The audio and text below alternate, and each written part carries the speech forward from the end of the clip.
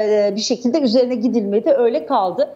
Dolayısıyla bunlar belki şu anda cevabını bulmuyor ama hepsi siyasi tarihimize e, kelime kelime işleniyor. Aynı şekilde e, son videosunda Ankara Bölge İdare Mahkemesi Başkanı Esat Toklu hakkında iddialar vardı. Esat Toklu kendi yaptığı açıklamalarla aslında daha da büyük soru işaretlerini ve konuşulması gereken dosyaları e, ortaya çıkarmış oldu. Dolayısıyla Cumhurbaşkanı Erdoğan konuşmayın derken e, belli bir şeyi bilerek e, söylüyor demek ki. Çünkü konuştukça daha da fecileri Sedat Peker sırası sayesinde değil bizzat açıklama yapanlar e, tarafından ortaya atılmış oluyor.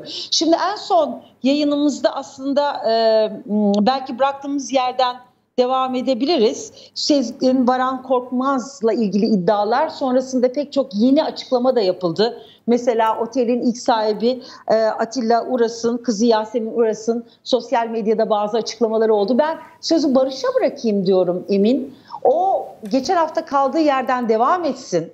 Yeni çıkan bilgiler doğrultusunda Ondan sonra onun üzerine konuşmaya başlayalım. Ama Esat Toklu'nun özellikle üzerinde zaten birazdan daha yoğun bir şekilde duracağız. Neden duracağız? Çünkü söz konusu olan bir idare mahkemesi başkanı ve diyor ki benden daha zengin hakimler, savcılar var. Bu Sedat Peker'in açıklamalarını bıraktım.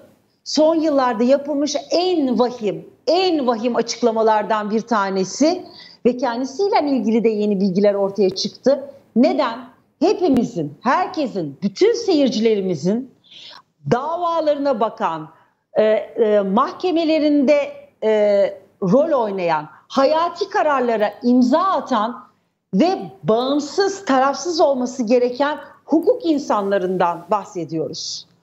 Dolayısıyla bu çok çok çok çok çok vahim bir durum. Bunu ayrı bir dosya olarak yana koyup birazdan konuşalım.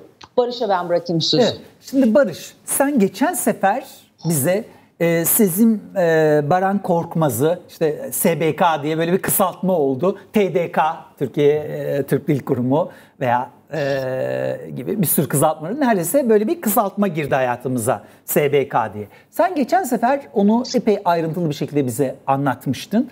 Ama e, sonra süre kısıtımız nedeniyle son kısmını biraz bırakmıştık. İstersen bir oradan başla e, bize şu, anlat. Şuraya belgeleri de o koyabilir miyiz istediğim şeyleri? Evet ekrana da verecekler zaten Şöyle, sen anlatırken. Şimdi bir şey konuşmak istiyorum. Lütfen. Ben SBK meselesine şuradan giriş yapmak istiyorum. O yüzden onları istedim.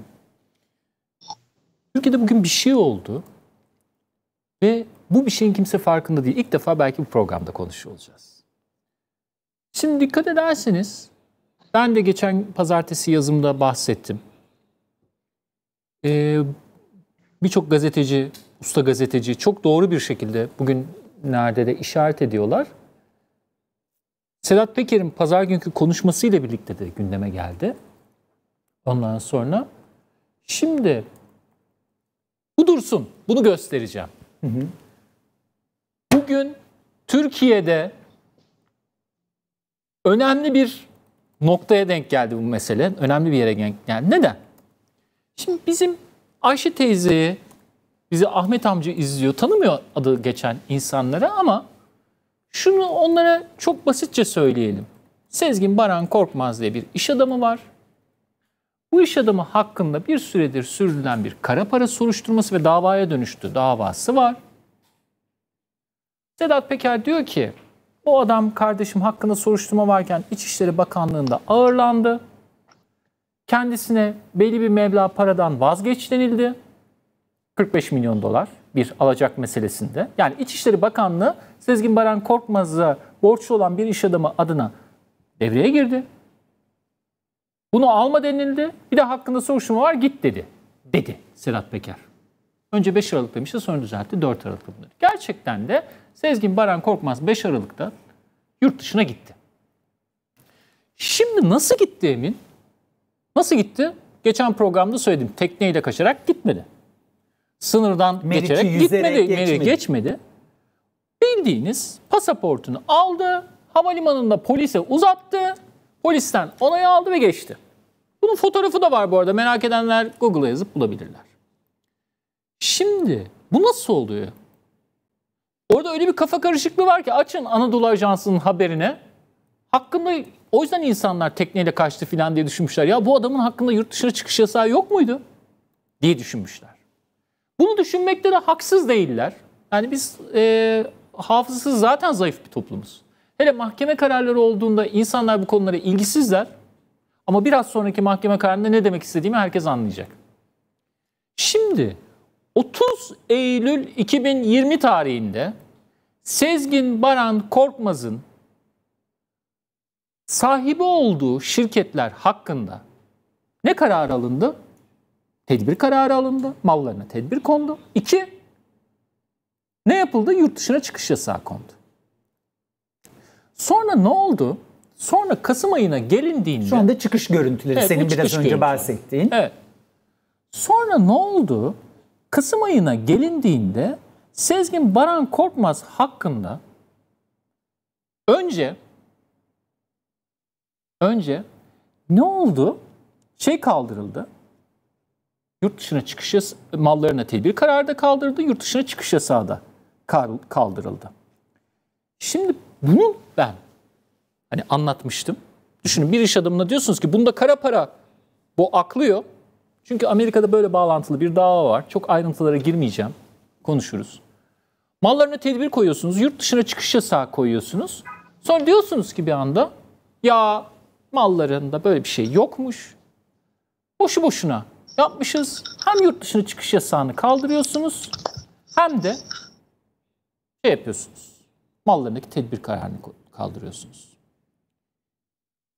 Şimdi Sezgin Baran Korkmaz hakkında da yurt dışı çıkış yasağı kaldırıldığı için aslında insanlar onu unuttular. Bu şekilde çıkabildi. Ve burada hiç de öyle hakkında bir şüphe olan biri gibi çıkmıyor. Gayet Senin- rahat bir vatandaş senin Evet. benim gibi çıkıyor yani. Çıkıyor. Şimdi sonra ne oldu? Aralık ayının sonunda bir anda aynı savcılık aa bir dakika bu kara para aklıyormuş deyip hem onun hem de ilişkide olduğu kişiler hakkında yakalama kararı verdi.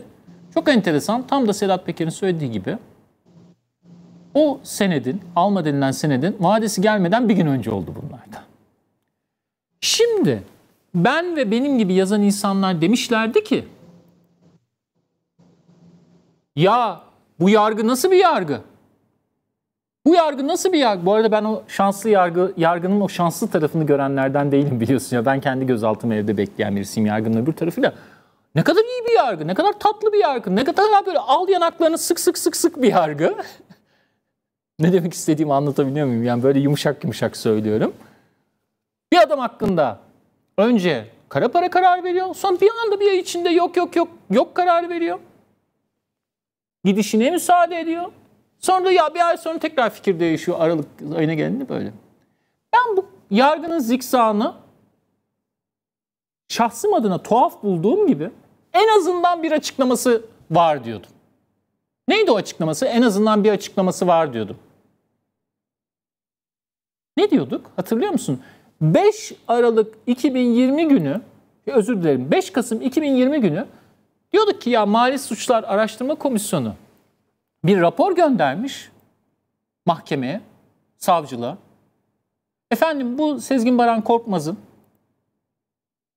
serveti hakkında bir suç bulunamadı demiş. Mahkemede, savcılıkta o yüzden fikir değiştirmiş. Öyle düşündük değil mi? Yani tabiri caizse ayağın takılıp düşmeyi ya orada taşa takılmıştır diye açıkladık. Bence bu iyi niyetli bir açıklamaymış. Fazla iyi niyetliymişiz. Neden fazla iyi niyetliymişiz? Bugün Masak bir açıklama yaptı. Masak'ın açıklamasını haber kanallarından okuyorum. Okuyorum hiç yorum yapmadan. Mali Suçlar Araştırma Kurulu Masak, organize suç örgütü lideri Sedat Peker'in 9. videosunda dikkati çeken SBK Holding'in patronu Sezgin Baran Korkmaz'ın hakkında bir buçuk ay içinde iki farklı rapor hazırlandığı iddiasına yanıt vererek iddiaların gerçeği yansıtmadığını açıkladı. Masak diyor ki biz öyle bir şey iddia yok. Masak yapılan açıklamada şu ifadeleri yer verdi. Masak'ın ifadelerini okuyorum. 9 Haziran 2021 15.56 saatinde girmiş yani bundan 5 saat önce 6 saat önce çıkmış haberi okuyorum. Ee, bir dakika. Ee, Reji ne kadar vaktimiz var arkadaşlar reklama? Tamam. Şimdi bunu aç okuma. Ee, orada çünkü keseceğim sözünü. Reklama gitmemiz gerekiyor. Reklama